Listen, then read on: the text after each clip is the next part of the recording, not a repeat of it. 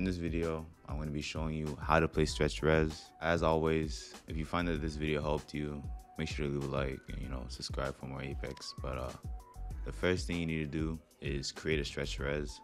I'm going to be showing you how to do it on AMD, but NVIDIA link will be in the description. So just right click your desktop, find your control panel, and then go to display. You want to go to custom resolutions and click create new. The custom res we're creating is 1440 by 1080. If it's saying it's not compatible, just keep on changing the timing standard till it works. After that, right click your desktop and go into display settings and change your display to the custom resolution. If you have black bars on your screen, then you'll need to go into your panel and turn on GPU scaling and make sure it's set to full panel. But once you've done that, click your Windows button and search up saved games. In there, you want to go to Apex local and then you want to go to video config. Right click video config and go to properties and make sure read only is not applied. And then you just open it with notepad.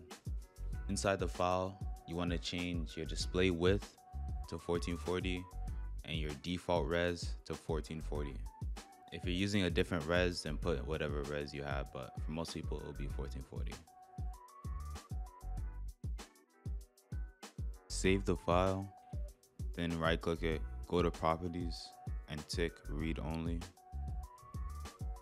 In the description, there'll be a command line. Just copy that into your launch options.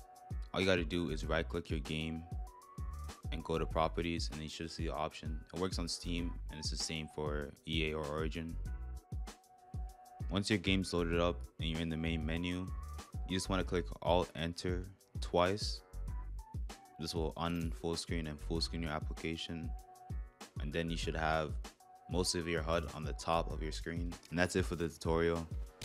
Uh, check out one of my other videos on screen now. But uh, other than that, peace.